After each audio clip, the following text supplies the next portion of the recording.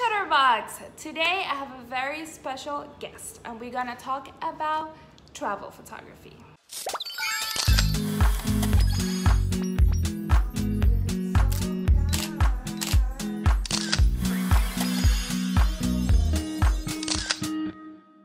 So today we're gonna give you guys a couple tips that are really gonna help you to get the best photos when you're traveling. Oh yeah. Hi, Shutterbugs. I'm Jocelyn from Chasing Carpe Diem. I'm so excited to be here. Thank you. Thank you, thank you for being here. The first tip that we're gonna share with you, it's the time where you should be taking your photos. Absolutely. Yeah. I think in the morning. So for example, if you're traveling to New York and you want to get a picture of the wait.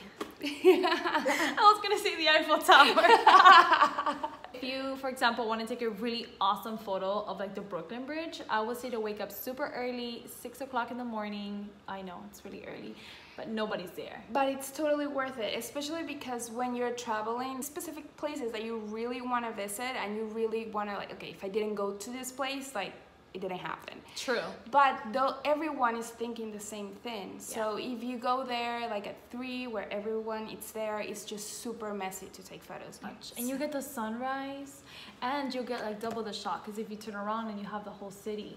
Oh, that's That would be so nice. So so nice. Yeah. Now I need to go to New York. Yes. Yeah. so you have been traveling the world for a couple years now, correct? Yes. So you have gathered a couple tips. Yes. That we love.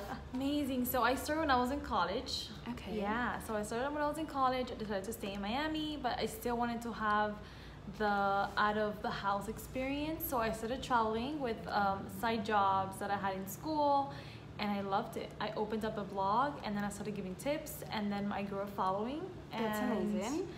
From there, just picked up. I started working with companies, and it's been awesome. And she has amazing photos on her Instagram, so I'm gonna leave you the information in the description box so you can check out her beautiful photos on Instagram and also check out her YouTube channel. Next point, it's something that I talk about. Uh, I talk about a lot with you guys, and that's the pre-production. But tell us how you do it. So for me, when I travel as a travel blogger, we always have to plan ahead every time we travel. Okay, so well, going back to New York, I will list the top 10 places that are most photographed in New York, and then I would just put them on my iPhone or make a little paper or note it, but definitely plan ahead of exactly where you want to take photos of. Yeah, and that goes related with your outfit as well, correct? A hundred percent, because not every place is gonna be like, you're not gonna have the same outfit in the Brooklyn Bridge and then in Times Square. Correct. And mm-hmm. then if you have an idea of how the location look, then you can know what you should be wearing according to like what you're thinking the final shots should be. So maybe you can check the colors of the location, if somebody have done a shot that you actually feel inspired by, and then you can maybe use similar colors. So all that helps you to get an even better photo. Yeah. Another thing, it's talking exactly about this, about inspiration. It's like, where do you get inspiration from? From you. Oh my god! yes, I think I get all my inspiration from my fellow like bloggers. I love it. And tips, your tips are really important. Thank you. Yeah, because sometimes like you know we have like different like the way that we pose. Completely. A hundred percent. So like those little things help so much. Yeah, and it also help you to just make things faster and smoother because when you're shooting, then you start knowing yourself a little better with these tips. Yeah. Also, Super. you told me about the saving the photos on Instagram. Oh my god, this is so important. So I actually learned this tip from another blogger, a friend of mine. And when you're traveling and you see when you're surfing the web on Instagram and you see like oh New York and I love the way that she posed um in the Brooklyn Bridge, like I will save it into my Instagram. They have that option where you save. Yeah, so you Yeah. can have like your little folder that says inspiration. I totally do that too. Me too. Me Yes. too. I did some for your wedding. I saved some of the photos. Yeah, that's awesome. Yay. I'm not. I don't even have a boyfriend yet, but I was like, in the future. yeah, it's true. You need to start getting ready. in the future boyfriend. Another huge tip, and this I will say is the most important one in this whole video, Yes. for real. But if you have been enjoying this video so far, don't forget to subscribe to my YouTube channel if you want more photography tips, and also to check the description box to check her YouTube channel and be part of the family. Yes. So the next step it's the tripod. Right here. Yay! This is the best. I know you use it. I use it. This is like the best. I think you you'll link it down below. yeah, Super definitely. important. Um, the tripod is gonna be your best friend, even to do videos when Completely. you're anywhere traveling. It's And if super. you're traveling, if you're traveling alone, Mhm. it's it's amazing because then you can take your own photos.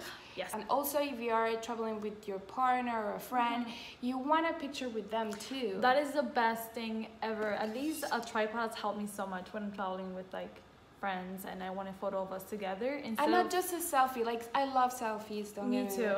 Yeah, I love them. But sometimes you want like the full photo. Yes, like if you're like, oh my gosh, best example when I went to Curacao, it's an island in right down Mm-hmm. by South America, and I wanted like photos with the people that I was traveling with. The tripod came in handy. We put it in the sand and we took the photos. So And you're yeah. ready. It really is the best. If you're traveling, you need you need a tripod. The thing with the tripod is that uh, they can get very heavy, and this specifically, it's a great option to Yeah. get because it's very light and Super you- light. You can have it in your little I love it. Little pouch. Yeah. And this tripod that she's gonna be linking down below, it's perfect because it comes with like photo gear. Ooh, Oh, that's nice. And I love it. a little holder for your phone. So you don't really need the equipment, which Right. was a topic that we're gonna talk about. You just need your iPhone or Mm. phone.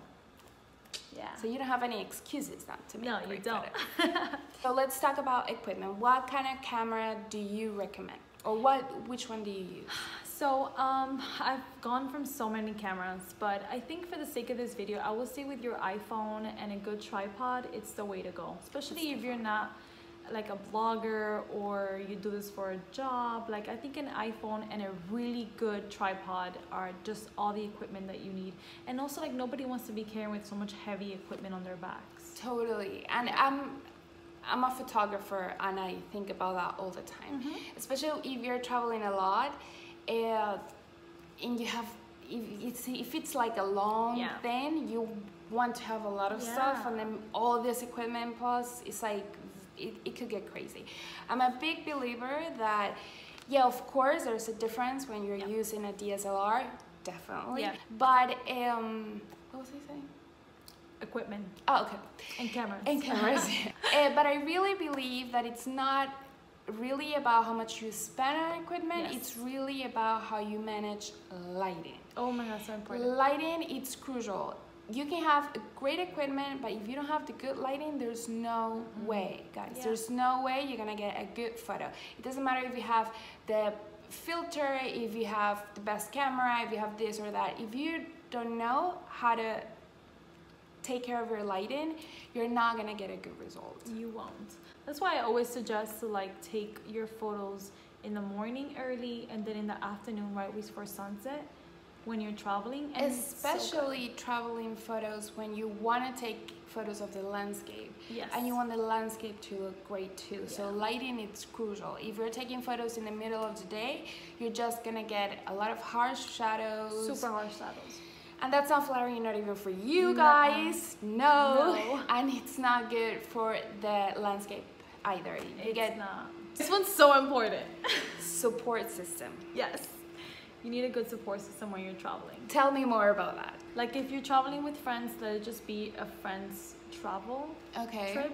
Um, and, and like take photos of each other. Okay. you know so like they don't just like exchange phones and and you know your friend wants a really good photo in front of times square you go and you take it for her and and you exchange like that um that's It's Yeah. amazing because then you don't need to like it's fine if you have the options of the tripod and all the stuff, but if you have Yeah. somebody there that can actually help you Amazing. to get better photos. yeah like my friend that i've traveled the most with it's so much fun because she'll flip the camera the camera has like a flip screen Okay. and i can see myself as I, as she as she takes the photos i oh, mean that's it's awesome. it's- That's awesome. Yeah, that's just a little idea that you can use. Because sometimes, like, maybe they don't have the idea yeah. That you kind of how you want the photo, so she'll just like flip the screen so I can see myself. Yeah. It's the best. That's amazing. Well, thank you so much for being here. No, thank- thank you so much, Shutterbugs, for being here as well. Remember that you're beautiful and special. See you Yes. next week, and don't forget to check everything on the description box. Follow her on YouTube and Instagram, and of course, subscribe to my YouTube channel if you want more photo And give it a thumbs up if you really love this video. Yes. See you next time.